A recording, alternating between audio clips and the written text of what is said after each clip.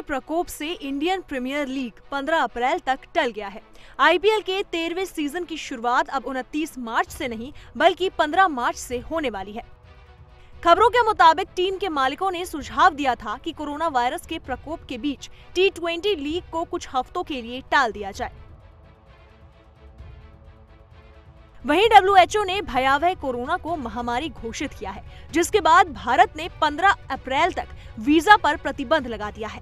जिससे विदेशी सितारों के लिए इंडियन प्रीमियर लीग में शामिल होना असंभव होगा।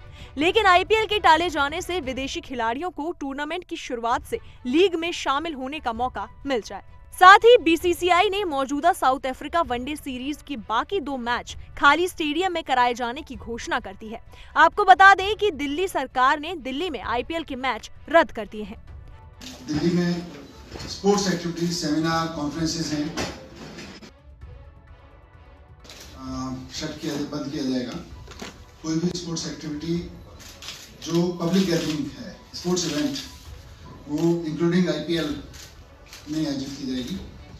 News desk